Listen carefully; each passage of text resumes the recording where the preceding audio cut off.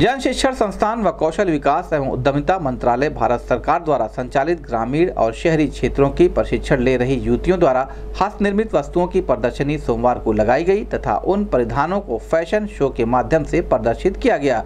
इस मौके पर सांस्कृतिक कार्यक्रम की भी प्रस्तुति की गई। कार्यक्रम में बतौर मुख्य अतिथि शिरकत करने पहुँचे सदर सांसद रवि किशन ने प्रदर्शनी का अवलोकन किया और कहा कि जन शिक्षण संस्थान युवक युवतियों को विभिन्न विधाओं का प्रशिक्षण देकर उन्हें स्वरोजगार के साथ आत्मनिर्भर बनाने में अपना सराहनीय योगदान दे रहा है, जो भविष्य में लाभदायक होगा। इस अवसर पर निदेशक मंडल कार्यालय, खादी एवं ग्रामोद्योग आयोग, भारत सरकार, एस धनकर क्षेत्रीय प्रबंधक के एन श्रीवास्तव सहित अन्य जन शिक्षण संस्थान के सभी अधिकारी, कर्मचारी मौजूद रहे। इस संबंध में गोरखपुर न्यूज़ से बात करते हुए सदर सांसद रवि किशन ने कहा।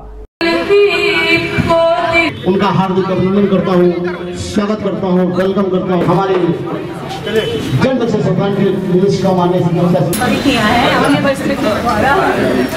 बहुत ही खुशी का दिन है बहुत ही हर्ष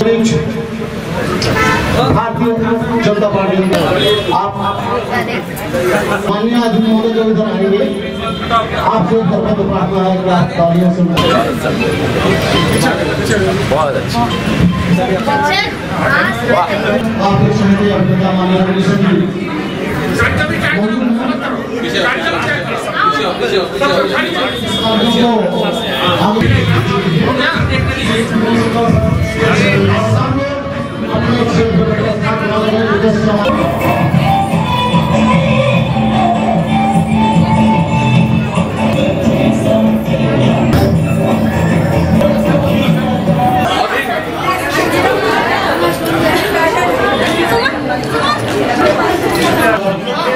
ये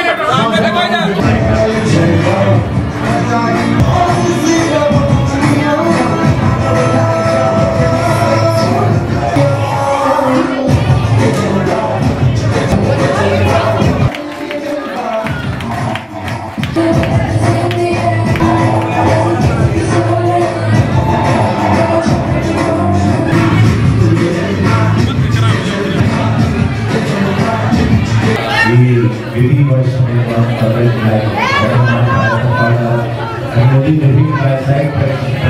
आज आत्मनिर्भर भारत का सबसे बड़ा एग्ज़ाम्पल वाला मैं विधायक जी को धन्यवाद दूँगा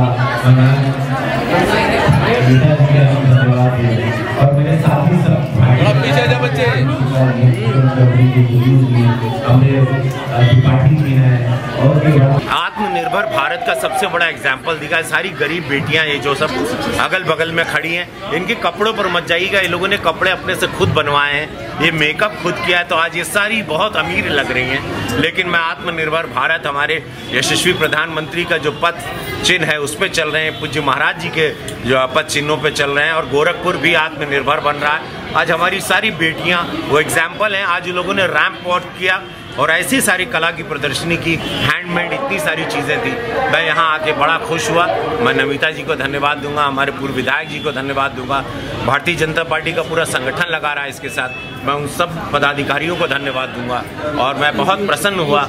और इन बच्चों का, इन बेटियों को, इनके फ़ील्ड में बढ़ाने में मेरा जो भी योगदान रहेगा, मैं ज़रूर करूँ मैं इन लोगों को मतलब ये सारे लोग साधुवाद जितना दें, आपको शुभकामना दें। आप लोगों को मैं नमन करता हूँ कि इस, ज़्यादातर लोग इस दुनिया में स्वार्थ में जीते हैं, परिवार के लिए जीते हैं, दूसरों के लिए जीना बहुत बड़ी बात है।